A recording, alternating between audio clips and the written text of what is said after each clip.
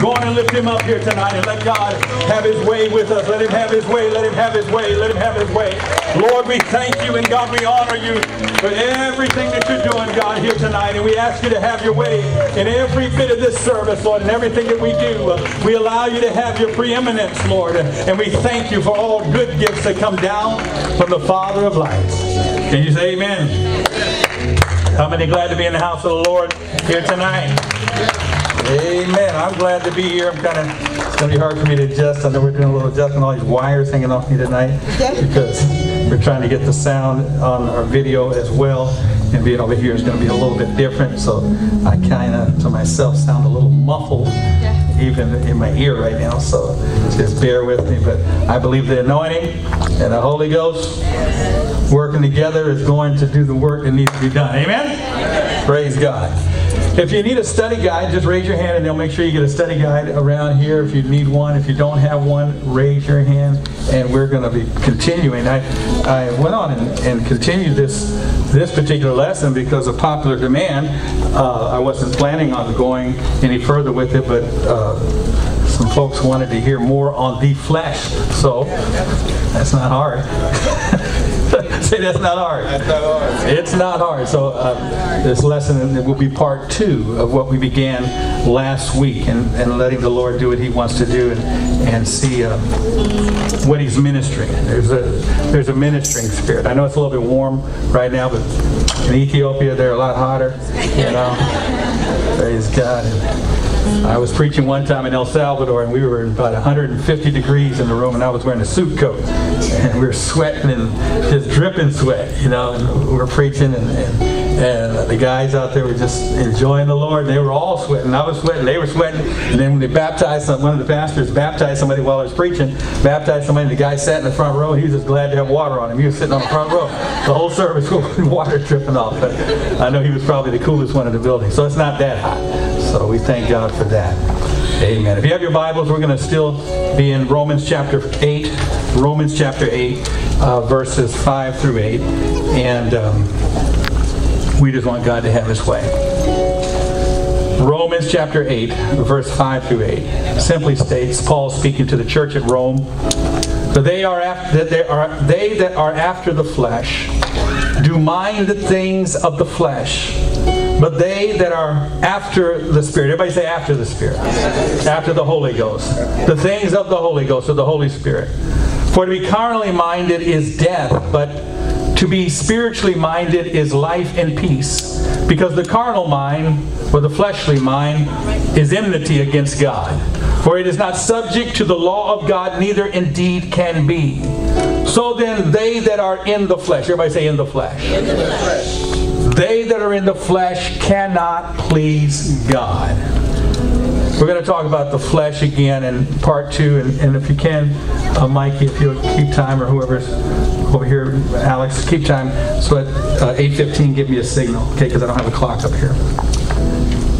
Let's talk about it. Father, we come to you in the name of Jesus. Lord, we thank you and we give you the praise and the glory and the honor. And we ask you to be with us in this Bible study. Lord, I pray that our flesh, our human nature, our carnal man would be laid down at this altar, Lord, and for the days and years to come in our families, in our friendships, on our jobs, in our personal lives, even in the church that you allowed us to be part of. Lord, we ask you in Jesus' name to have your way tonight and allow us to walk with you, Lord, and to be better than we were when we came in. And we ask it all in the name of Jesus. Can you say in Jesus' name? Jesus. Amen. One more time. Let's just put our hands together in the house of God. Hallelujah. Thank you, Jesus. Amen. God bless you. you. May be seated. Thank you for standing so long. The flesh. Everybody say the flesh. I'm going to give you just a little bit of review for maybe uh, one or two of you weren't here last time, but we talked about the flesh. And one of the things we, we wanted to note was the flesh is not talking about the human body. In other words, we're not talking about our flesh as far as what we're born into and what came out of our mother's womb. We said the flesh was also known as the human nature or the carnal mind. We quoted Thayer's Greek lexicon, which stated uh, and defined defined this word flesh is sarxis, which means mere human nature, the earthly natural man, part of uh, depart apart from divine influence. In other words, God isn't influencing your flesh. So when we act out in the flesh, it's not God. You can call it God, but it's not God. And therefore, because of this, Vines goes on to say, I'm sorry, uh, um, goes on to say, and therefore prone to sin and opposed to God. According to Vines, Vines expository dictionary of the New Testament words, it says the flesh is a, a seat of, of, for man's sin or a seat for sin. It's where sin relaxes and sin gets really comfortable inside of our flesh. I talked about it being reclined there. We talked about flesh is nourished in three desires. We talked about it being nourished in the, the lust of the flesh, which means what we handle and touch, and the lust of the eyes, what we perceive and what we think about, and the pride of life in our lives, and what is reinforcing self confidence or self assurance or depending on yourself. We talked about the following are seven observations concerning the flesh. The flesh uh, affects every human being in the world or that was born in the earth. Every single one of us in this room has flesh or has a human nature. And so all of us, because we were born into it, born into sin, shaped in iniquity and all that, we all have been affected by this thing called the flesh. We talked about the flesh appeals to our base nature. In other words, the lowest part of us. You can when, when you act out in the flesh, you act out in that animal-like, humanistic, um, attitude and spirit, and it really comes out of us. We talked about the flesh loves sin and loves to sin. Its job is to sin, and it loves it. We talked about the flesh reinforces strongholds in our lives. In other words, what you're struggling with, the flesh reinforces it and ties you up to where you can't get free from it. If you were chained and bound to something, the flesh somehow tightens it up. And every time you act out in the flesh, it tightens it up so that you can't and I can't get free from it. We talked about the flesh resists God and His Word. In other words, the Word of God is, is, is, saying one thing and the flesh is saying another thing, and it fights against what God really wants. We talked about the flesh never produces anything that God endorses. No matter how much you want God to endorse what you're doing, when we act out in the flesh, God will never endorse our flesh. You'll never say, oh, that's good, and you acted out in the flesh. And that's good because the ends justifies the means. That's worldliness, and the world says the end justifies the means, but God's kingdom is not like that. He never endorses our flesh. And the last we said the flesh rewards us with a place on death row. In other words, if I continue to walk according to my flesh, the last place that I'm going to end up is hell.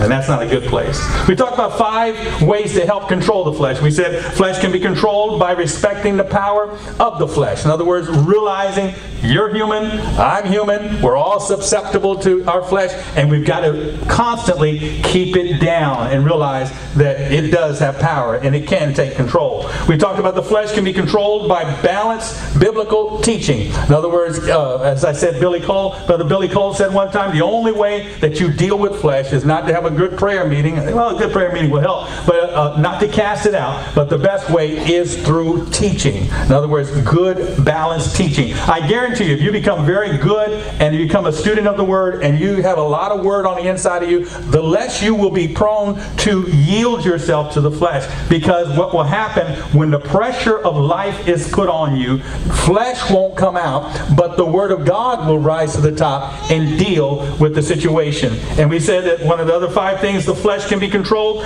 by enlisting others to hold us accountable. In other words, having people that you trust, say somebody I trust. Somebody, okay? Somebody that you trust that can speak into your life and that can help you along the way. These people have to be wise people, but not only wise people, they have to be godly people because if they're not godly, then they're going to give you unwise attention and unwise advice. By the ways that we open that, it's going to get worse.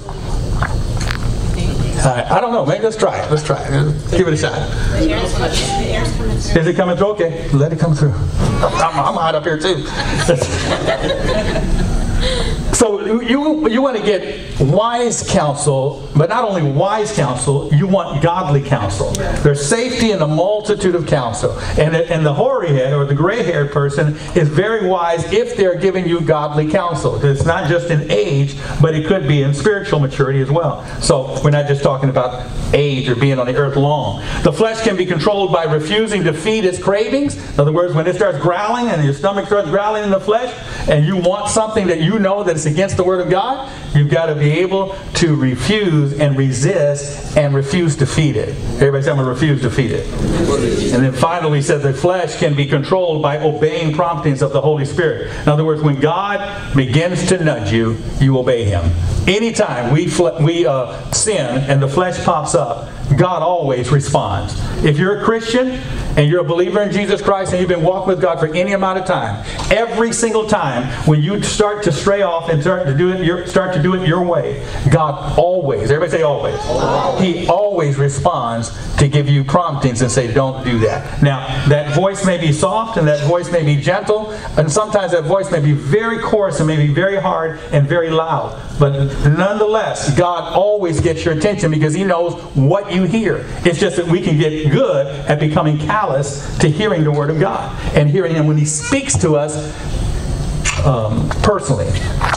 Let's start today in part two of what I want to talk about. The following are three things that the flesh loves. Say, the flesh loves some things. Flesh loves That's right. And the number one thing that flesh loves is sin. Our flesh, everybody say my flesh. Our flesh loves to sin. To sin means to miss the mark. Let me give you a, a good definition of what sinning is. Sinning, is, the word sin means to miss the mark. In other words, if I had a bullseye behind me and all of you were throwing darts at the bullseye, Whenever you hit it in the dead center, that's considered bullseye. Anything outside of the center and directly in the center is considered missing the mark. The same way the Lord says, You sin, I sin, every time we miss the mark. And the only way we can actually hit the mark is through the blood of Jesus Christ. All have missed the mark and come short of the glory of God. All have sinned and come short of the glory of God. So to sin lives outside of the mark. And the flesh loves sin because sin is not bound to hit it every time. In other words, we start making excuses why we can't live for God. We begin to give excuses why we can't just submit our flesh, and therefore we live outside the center and don't allow God to put us on the mark. That's right. Sin is anything that doesn't have God's endorsement. And that's one way that you can think about it, and that's just my own definition. But sin is anything that does not have God's endorsement. In other words, what I'm getting ready to do and what I'm getting ready to say, even what I'm thinking on right now, if it's not endorsable by God and it's not condoned by God, then it falls in the line and goes into the category of sin. But thanks be to God through the blood of Jesus Christ, even when you make mistakes on, on accident, God's blood brings you back to where you need to be. So you don't have to walk in fear and say, oh, I'm sinning all the time. Well, anything short of the glory of God is sin, but it's because of the blood and your faith in the blood and trusting God and saying, God, I trust you to cleanse me and keep me under the blood, that it begins to flow. I'm talking about sin that we partake of that we know isn't right and it puts us on the other side. And the only way you can get back on the mark is you've got to ask God to forgive you of that particular thing. Sin is anything that doesn't have God's endorsement on it. Paul declared in verse 5 of our scripture text For those who are, who are, are according to the flesh are controlled by its unholy desires, set their minds on and pursue those things which gratify their flesh. Sin is out there and our flesh is attracted to it to where we start running after it because our flesh wants to be fed. The Apostle Paul noted in Ephesians chapter 2, verse 3. I'm reading from the Amplified. We, as well as you, once lived and conducted ourselves in the passions of our flesh our behavior governed by our corrupt and sensual nature, obeying the impulses of the flesh and the thoughts of the mind, our cravings dictated by our senses and our dark imaginings. In other words, we, we really want, wanted this so bad. The flesh loves sin. 1 John chapter 2, verse 16, 15, and 16. I'm reading from the expanded Bible. It says, Do not love the world. Everybody say the world. That's this system and it's the way that they've bought into things and said, well, you know, everybody else is doing it. That's the world. Well, what about them over there? Well, that's the world. We're talking about not just one specific thing in the world. We're talking about the way the world perceives things, the way the world approaches things, the way the world uh, accumulates things, the way the world gets what they get is not how the church should operate. And notice what he says Do not love the world, nor the things in associated with the world. If you love the world, this is what the Lord is saying through one of his, his men of God. He says, If you love the world, the love or uh, of or for the Father is not in me or in you. Verse 16 goes on to say, For these are the ways of the world, wanting to please our sinful, notice, selves, the desires, the lust of the flesh, wanting the sinful things we see, the desire, lust of the eyes, and being too proud of what we have, the pride of life or possessions. None of these things come from the Father, but all, notice, say all, all of them come from the world. In other words, it's not bad to have desire, but it's bad to have a desire that does not fall into the category where God will endorse. Sin says, I'll endorse this and I'll endorse that. It's okay as far as you can go. It's called lasciviousness, living outside the boundaries of, of anything. No laws, nothing. I get to do whatever I want to do. That was the generation that I grew up in the 60s, and where they said, if it feels good, do it. If you feel like you want to do it, do it. And, and that's why I, I live the way that I live. It's because it felt good, so I did what I wanted to do. Once I came to the Lord, I started seeing structure, and I began to see order, and I began to see what God is really wanting to do. And that's what He's trying to get across to somebody because our flesh is so powerful, and it's been fed from the time we were born because we were born in iniquity. We were shaped in iniquity. We were born in sinfulness and in, in the sinful flesh. So now we're just walking this way, but when we come to God, all of a sudden, God says there's boundaries. All of a sudden, you got to live within the confines of His Word. And guess what? If you learn to walk that way, you will see that it will be better for you. You'll be happier. You won't, I mean, you won't have to go through the same old thing that your mother, your father, your brother, your sister, your uncle, your aunt, your grandma, your grandpa, and all of them had to go through just to learn the simple point and what they try and tell you once they get older and say, just live for God. Mean, Solomon, after he'd done all that he did, married all the wives that he had, 700 wives and 300 girlfriends, and the richest man that ever walked the earth, the man who had everything that he wanted, had the tiger by the tail, owned things, and had power, prestige, and everything he wanted. And he said, You know, I've looked at life. And here's it, to sum it up. He said, Fear God, put God in his rightful place, have reverence for him, be in awe of God, fear God, and keep his commandments. It's only two love God and love people. And keep his commandments, for this is the whole duty of man. You know, the rich man came to Jesus and he said, Good master, what must I do to inherit the kingdom of heaven?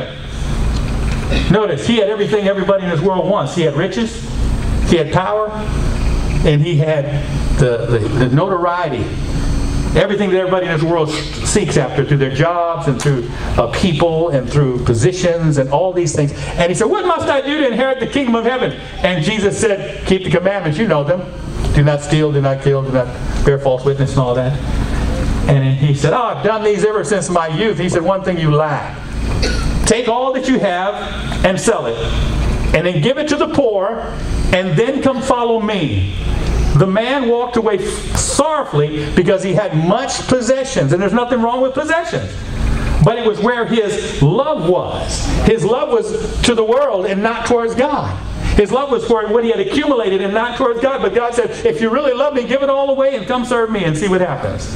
You'll have a better life. God wasn't calling him to a worse life. God was calling him to a blessed life. A blessed life is not in the things and what we possess or what we own or who we know, but a blessed life is knowing Him. And if you know Him, you are blessed. That's why you can be dirt poor and still be blessed. It's not based upon the things that I possess. Possess. Life is much more than that. The flesh on your study guide and loves sin because of its temporary sensual satisfaction. You can write that in there. loves sin because of its temporary sensual satisfaction. Notice I said temporary. And I said last week how that Moses, he chose rather to suffer with the people of God than to enjoy the pleasures of sin for a season. I'm not saying that it doesn't feel good to sin. I'm just saying it feels good to our flesh, but it's temporary. Temporary. It's a band aid. Yeah. It's like when you uh, are needing a cigarette for you people that have been delivered from cigarettes yet. Okay? I smoked for eight years, so I understand how it is when you want that cigarette, how you'll pick up that butt on the ground and you'll begin to piece things together. And, and back when you had rolling papers, you would roll a bunch of them together just to get one cigarette. Okay? I understand that. It's because of the craving for the nicotine that's going on inside the body that wants more, but it's temporary. It's just like drugs. And those of you that have been addicted to drugs or maybe are addicted, addicted to drugs even now, it's that craving that comes up that wants it to be satisfied. And that's what sin does. It wants to satisfy. It only puts a band aid on it for just a minute because when you wake up or when tomorrow comes or another day comes down the road or a few hours go by, you're going to need something else to make you feel good for a little while again. That's why when Jesus was looking at the woman at the well, he said, Woman, if you would have asked, I would have given you living water. That you wouldn't have to come here to draw water any longer. Because if you drink of this water, you really drink of this water that I'm trying to give you, you'll never thirst again. And see, that's what sin does. It makes us thirsty for more and more and more depravity. We become more depraved. We become more separated from God through sin because we indulge in it because our flesh wants it, but your flesh will never be satisfied. The Bible says hell and destruction are never full. So the eyes of man are never satisfied. When you get a million dollars, you'll want another million dollars. When you get one thing here and one thing there, you'll want more of that if you're doing it according to the flesh.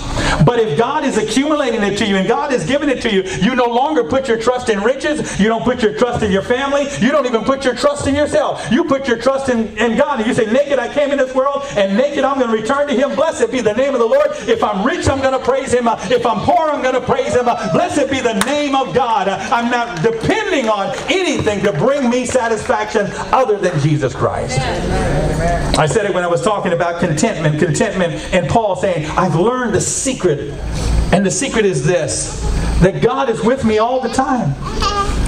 He strengtheneth me. I put my trust in Him because God is the one giving me the strength whether I have or I don't have. And that is the secret of contentment that whether you have or you don't have, God is on board. Whether you don't have anything to back you up or, or you have a, a lot to back you up, you realize that God, I have everything I need, need in you. I am sufficient in your sufficiency. In other words, as long as I know that you're here, it doesn't matter if I hear you, as long as I know you're around in the room, as long as I know that you're going to go with me and through it with me, I can do all things through Christ who strengtheneth me or which strengtheneth me. Can you say amen? amen. Go ahead and put your hands together for the Lord. But the flesh loves sin because of its temporary sensual satisfaction. Number two on your study guide the flesh. The flesh loves the spotlight. The flesh loves the spotlight. That's why when, when you come into the church, and, and I'm talking about church people now for a minute. When you come into the church, a lot of people, when they first get saved, they're, they're automatically attracted to the pulpit because it's a spotlight. And the flesh loves this. But the flesh can't handle this. I like that. The flesh, you know, it's like, what's that guy thing? Can't, can't touch this. MC. Yeah. MC Hammer. The flesh can't touch this because the thing that you seek will destroy you. That's right. And, and that's very important to understand. You can never fulfill in the flesh what has begun in the spirit. Paul calls it witchcraft when you walk that way. He says, Oh, you foolish Galatians, in Galatians, I believe, chapter 2. Oh, you foolish Galatians, who hath cast a spell on you? Who hath bewitched you? To think that having begun in the spirit, you are now made perfect in the flesh?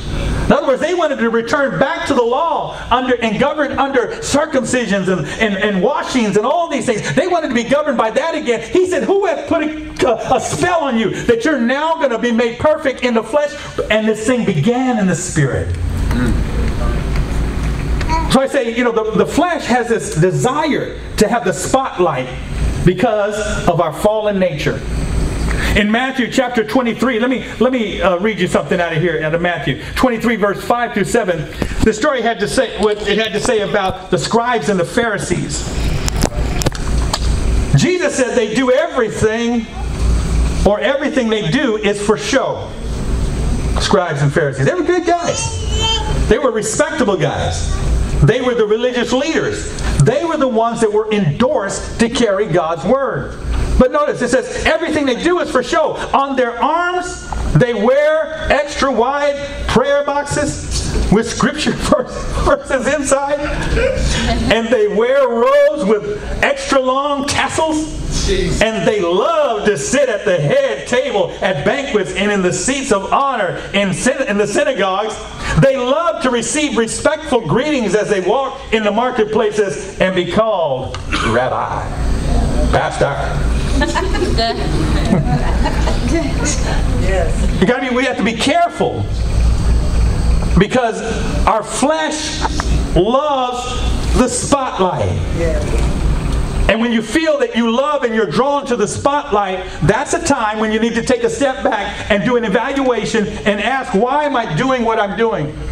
God has a way of squeezing it out of it. Trust me, He'll do that. But you don't want to go that route. You want to go the route where you're saying, God, if this is what you want me to do, and spotlights aren't bad. I'm just saying our flesh. Everybody say my flesh. When I'm walking in the flesh, that's what I desire. And our flesh, which is, uh, I, I, think I clearly stated that it's in every one of us, our flesh is drawn to it like, an, like a bug to a light. and don't know that it's for our death. You know, you know, insects, they have these little lights that zap them. That's what our flesh is like. Our flesh is drawn into that spotlight to be recognized, to be known. Everybody's trying to make their mark on the world. I want to I want to create something. I want to have an album. I want to have a, a, tape series. I want to I want to do this. I want to have a church. I want to have uh, uh, this thing or that thing so that people will know that I'm here and I'm important. I'm important. God already said you're important. God already said you're important. God already said you're the apple of his eye.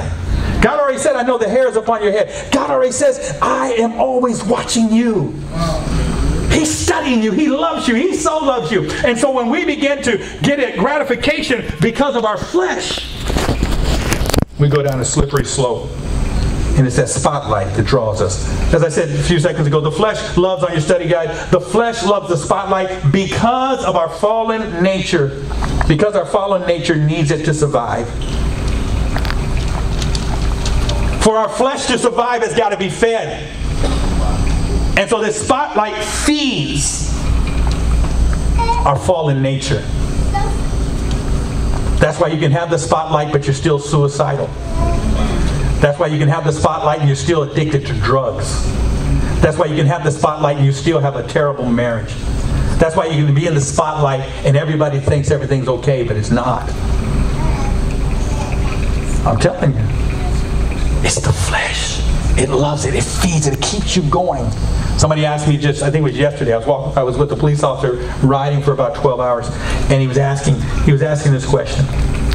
He never with a rode with a chaplain. He had never read a chaplain. He's a young guy, 27 years old, and uh, on, got tiger by the tail right now. You know, and one of the questions he asked: How can a man or how can a woman be addicted to drugs, and his brother is addicted to heroin? How can a man or how can a woman be addicted to drugs and not have food and all these other things. He said some of them die. He said, but how can he be an alcoholic or how can he be a heroin addict or a drug addict or something like that and function years and years and years and years? For some of these things, the, enemy is so slick that he'll let you have never get cirrhosis of the liver, never allow your kidneys to fail, where somebody's he's eating fruit and vegetables and taking care of his body and he's on dialysis. What's the equity in that? Not everybody's like that, but some people can be functional alcoholics, functional drug addicts. And his question was, how can they how can they survive? How can they make it? I'm telling you, the flesh as it's being fed sometimes uh, if it's to grip you and to hold you and keep you in check, the enemy will not even allow you to go down, but he'll sustain you. And if you as long as you keep feeding it, you're going to be all right. You're going to be all right. And the spotlight we love it because it feeds our fallen nature. It feeds us and it causes us to survive because people are looking at and, and we need that.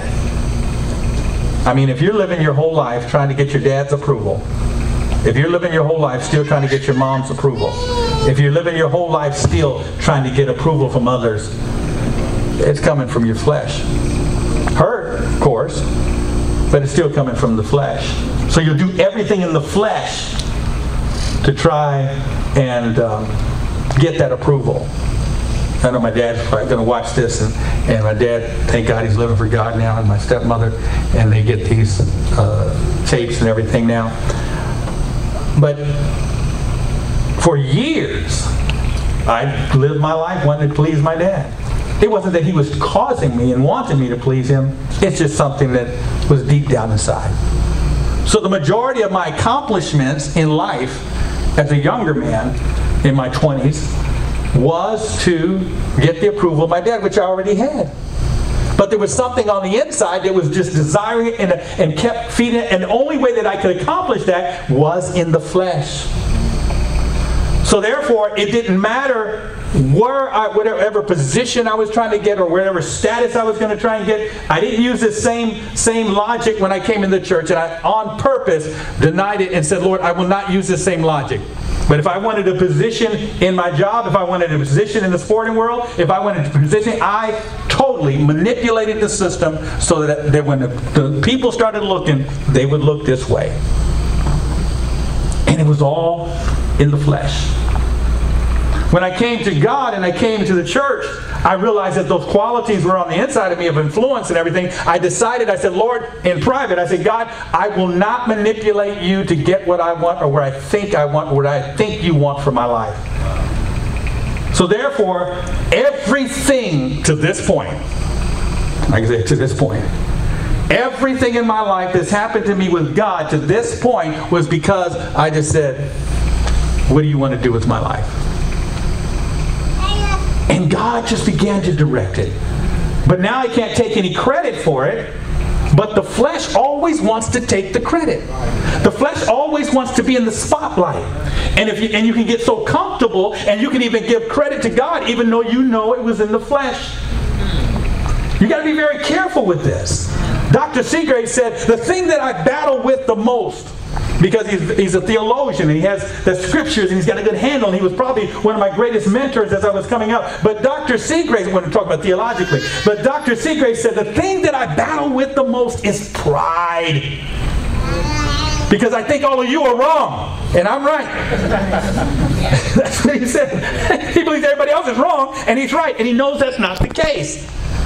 But pride begins to come up, and pride has its roots in Satan.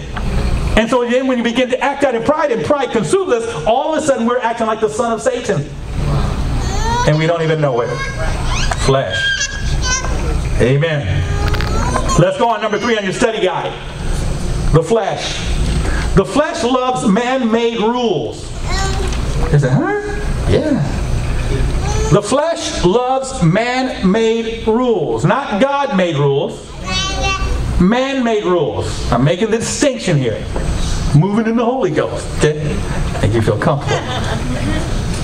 The flesh makes man-made rules. Jesus said in Matthew 23, verse 2 and through 4, he said, the teachers of the law, I'm reading from the expanded Bible, the teachers of the law, scribes, and the Pharisees have the authority to interpret what the law of Moses says. This, he's endorsing them.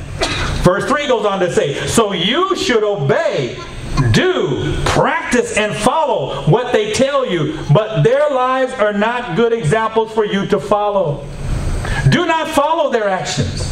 They tell you to do things, but they themselves don't do them. For they say, say but do not, say but do not. They make strict rules. Notice, they make strict rules. Tie up heavy loads, burdens that are hard to carry and try to force people to obey them. He goes, he goes on to say, but they are unwilling to help those who struggle under the weight, notice, of their rules. when we're talking about the flesh, it loves man made rules because now I can make a rule that makes me look good. I can make a rule that everyone else has to do, but I don't have to do, but I can act like I'm doing it. They love man made rules. The flesh, it loves it because it pumps me up. It makes me feel good, and I feel like, man, I'm on top of the world. Paul stated in Colossians chapter 2, verse 20 through 22 If then you who have, you have died with Christ to material ways of looking at things and have escaped from the world's crude and elemental notions and teachings of externalism, why do you live as if you still belong to the world? Why do you submit to rules and regulations, such as, not just rules and regulations, but he gives uh, an endorsement of what he's talking about, such as, do not handle this, do not taste that, do not touch, even touch them. Talking about Gentiles, referring to things, uh, things all of which perish with being used.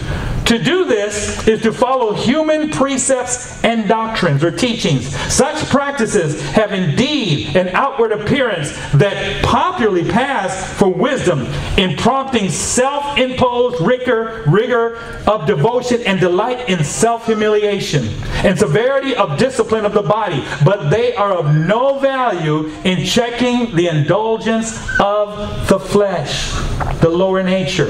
Instead, they do not honor God, but serve only to indulge the flesh. That's why it's important when you're talking about rules and regulations that you're going to live by. Some things God is asking you to do because He's talking to you. And there's other things God is asking you to do because it's the Word of God. And it's the Word of God that we need to obey. But when we get to the place where we think everything, every revelation, everything that God is telling me, He's telling them to, and He's telling them to. And next thing you know, there's no limit to it because it makes you look good, but it doesn't make God look good. And God is saying, I'm not even in that. It doesn't mean that we don't have rules and regulations according to the Word. What it does mean is when my flesh is involved, and my flesh is behind the scenes making all of this up just to benefit me. There's something wrong. Can you say amen? See, the flesh on your study guide loves man made rules because of a superiority complex. A superiority complex. You can write that in there. The, the flesh loves man made rules because of this a superiority complex. I feel greater than I feel better than everyone else. See, the scribes and the Pharisees had a problem with this because they had 613 laws that they were asking the people to obey. 613, and God never gave all of those laws. They started building, what they started to do was build fences around the laws of God about what God said this, but I'm saying, let's take it a little bit further wow. to protect God. And God never was in that.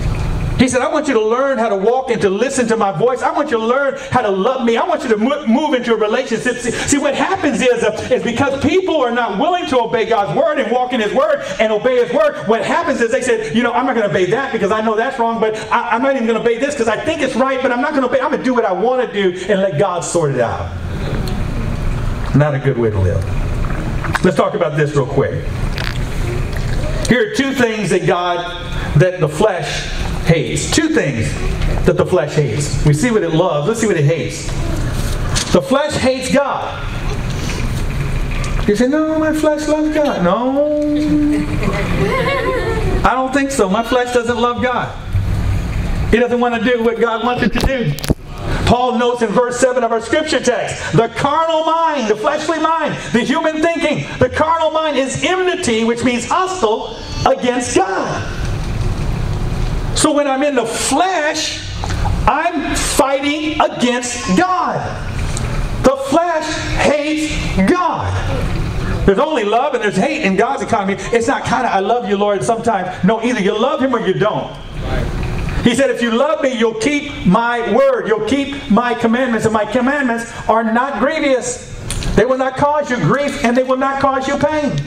So our flesh hates God. The Apostle John wrote in 1 John 1 and 5 This then is the message we have heard of him and declared unto you that God is light and in him is no darkness. So now we're defining God as light. Notice what else it says. And Jesus said in the Gospel of John, chapter 8, verse 12, I am the light of the world. God is light, and Jesus said, I am the light of the world. He that follows me shall not walk in darkness, but shall have the light of life. Jesus goes on to say in John chapter 3, verse 20, reading from the Amplified, For every wrongdoer hates loathes, detests the light, and that light is God or Jesus, and will not come out into the light, but shrinks from it, the light, lest his works, his deeds, his activities, his conduct be exposed and reproved. So if God's the light, Jesus is the light, and he's drawing us into the light, but I want to do what I want to do. I want to walk in the flesh. That means I hate the light, and the light is God. The light is Jesus. And so, if I, the flesh in me hates God. In other words, it wants to do what it wants to do outside of the will of God, no matter what God has already said. And you say amen. amen. I know it's tough. The flesh hates God because of possible, write this in your study guide there, because of possible exposure. The flesh hates God because of possible exposure. Lest I come into the light and my deeds, my activities, what I'm really all about, be discovered, exposed. Other people know. I'm revealed for what I really am. So the flesh nurtures itself, hides itself, withdraws from the light, not just in, in the light of this room, but in the light of God's presence. It doesn't seek to be close to Him because if I get close to Him, He may reveal who I really am. But the closer you get to the light, the closer you get to God, the more intimate you become with Him, the more you see yourself, and you see yourself like Isaiah and said, Woe is me, for I am a man that's undone, a man of unclean lips, and I dwell amongst a people of unclean lips. You fall on your face and you realize Man, I got issues. The flesh. Second thing about what the flesh hates the flesh hates submission. The flesh hates submission. We resist it. Verse 7 of our scripture text from the expanded Bible reads it like this When people's thinking is controlled by the sinful self, sinful nature, flesh. They are against, hostile to God because they refuse to obey, to submit to God's law, and really are not even able to obey, submit to God's law. The flesh hates bowing down, hates submission Paul noted in Galatians chapter 5, verse 16, But I say, walk and live habitually in the Holy Spirit, responsive to and controlled by, controlled and guided by the Spirit of the Holy Ghost. Then you will certainly not gratify the cravings and desires of the flesh of human nature without God. My flesh has no God in it. Do you realize that? So when I'm acting out in the flesh, there's no God there. It's just me. The same way when you're acting out in your flesh, It's not God, it's you. And what happens is when the pressures of life are put on you, when you're going through the dire straits, when things aren't just going just right, and it seems like all hell is breaking out against you, what happens is who you really are is going to rise to the top.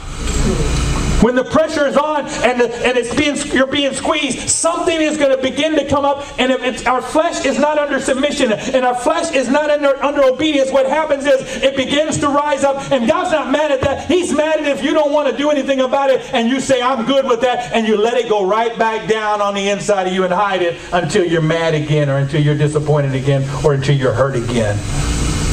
What he wants you to do is deal with the real you. Because every one of us have flesh. And life, circumstances, trials, even God Himself will allow pressure to be put on you to see what's inside of you. He said, I didn't give myself to man. Why? He said, because I knew it was in man. He didn't give himself wholly to man because he knew it was in man. But man, the closer you get to Him, sometimes it seems like, man, the pressure is on. But it's because God wants to squeeze it out of you. Dr. Jeffers, and many of you know who he is, and, and before he got married, and he said, you know, when he was being uh, persecuted in the flesh, being persecuted by others so bad, and he was getting mad, he said, God, why? And then the Lord just simply asked him, this is what he said, the Lord said to him, I thought you were dead. It just shows you you're not. It just shows you you still have some dying to do. And see, God allows a lot of things to come into our lives so that He can refine us. So we can be like that diamond or whatever it is He's trying to, to, to take through the fire, the refiner's fire. And to, to purge us and to make us into this masterpiece. When it's all said and done, your, your armor and everything on you is just going to be so polished up. The majority of you are going to make it to heaven.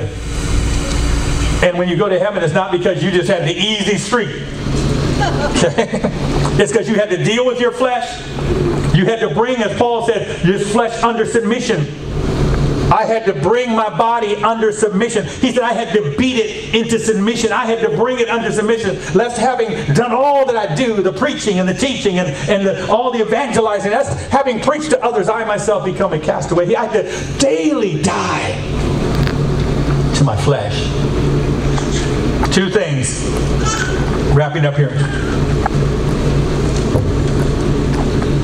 Two things that help our flesh to stay, stay submitted. Number one, submission to God, or A on your study guide. Submission to God. At this point, that seems easy. B, submission to others. I have other, but it should be others. Submission to others. That means submitting wives, submitting to your husbands, husbands submitting to your wives, submitting to one another. That means employees submitting to your employers. Okay? That means friends mutually submitting to each other. That means submitting to authorities with, even within the church realm, submitting to authorities in governmental realms, submission to others. This will help keep your flesh submitted. When you learn to say, God, I'm going to be totally submitted unto you, then I'll be able to resist the devil. Then I'll be able to fight on your field. But then I'll be able to go forward. I'll submit to God, but also I want to learn, and this is the harder part, I want to learn how to submit to others. Those closest to you sometimes are the hardest people to submit to. Children, submit to your parents. It's hard. Because why? Not because they're wrong, not because they're right, because of your flesh. It wants to do what it wants to do. The flesh hates submission, last thing on your study guide, because of personal control issues. You want to be in charge, you want to be boss, you want to call the shots, you want to say when it's over. You want to say when it's right. You want to be right. I want to be right. So the flesh has control issues. In other words, we want to direct the direction of our ship, of our life, of everything. But I want you to consider one thing as I close here. Because I think I need to say it. Just feel prompted to say it. I don't know why, but I'm going to say it. What if there is a God? What if there is a God? And you say, why would I say that? Because I think sometimes the way we live our life, we act like there is no God. So I ask somebody in this place who may be walking in the flesh, what if there is a God? See, because when I walk in the flesh, I act as though there is no God.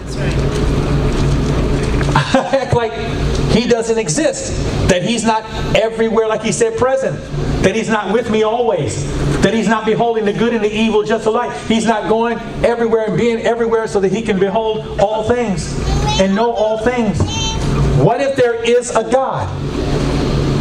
So I say to my friends that may be walking that way, or brother or sister who may feel like, man, I can just do what I want to do. What if there is a God? It's a fearful thing, Scripture says, to fall into the hands of the living God. You don't want God to judge you. I'd rather let somebody that I love in this world judge me. See, because God is black and He's white, but He's also long suffering. So what He does, He sets up this system so all of us can work it all out. He gives us so much in this word that all of us can be without excuse. I mean, He gives us so much and gives you so much insight so that you can say, man, I know somewhat as what's going to happen. It's like reading a newspaper today, and, and I know some things that other people don't know, and they're, they're, they don't have a clue. Get around sinners. Rub shoulders with them and talk with them, not trying to beat them over the head with the Bible, but just listen to them. They are clueless to life and what life is all about. When they think about somebody like you, they think you're part of an institution. A poobah club. I don't need that. I got a boat. You know, I got my buddies over at the bar. I mean, you got your people at church, I got my people at the bar. Same thing, right? It, they don't have a clue. What you are involved in is an eternal God is trying to prepare you, but your flesh, and that's what I'm talking about the flesh. Our flesh cannot receive the things of the Spirit because they're spiritually discerned. But unless you understand this, that there is a God, and this God has called you and ordained you and is setting you up and saying, I want you to come into a relationship with you, with me, because I've got so much in store for you. Not on the other side. I've got so much in store for you on this side. I want you to make an impact. I don't want you fighting with people. That's why Paul said, uh, You're yet carnal. Because when I come to the church uh, and I pass by, I see you that you have factions uh, and you have warrings. Uh, this one can't stand that one. This one is can't, not standing this one. Uh, this one's married to this one's wife. And, and all these kinds of things. That should not be. That's right. Amen. Amen. You're different. You're called out. Right. You're special. You're peculiar. You're a holy nation. Amen. I've called you to show forth the praises of your God. But you'll never do it walking according to your flesh. If you want to see great things in God, don't seek the spotlight. Don't seek praises from other people. Don't seek what desires you have in yourself that make you feel good. Seek God. Running after, hard after God. Don't seek rules to keep you in balance. Seek God. And what will happen is God will reveal himself to you. And what you'll do is uh, you'll submit your life to him and his word. Uh, and then all of a sudden serving people will not be hard for you because you're not trying to get anything from it. All you're trying to do is serve God. Then his voice uh, will begin to magnify in your ears uh, and then you'll hear him more clearly and you'll know where to turn uh, and what to do. You will be able to know when sin knocks at the door and crouches down uh, behind bushes. you will be able to see it coming from afar off because your spiritual senses are activated uh, and your fleshly senses are numbed and they're dying and they're deadened. They will not be able to affect you the way that it used to. And then when people make you mad and people get on your nerves and when you want to say something, you realize uh, there's something greater than what my I'm going to get out of my flesh. There's something greater that can be won from this. Uh, I know my God is wanting to use me even now.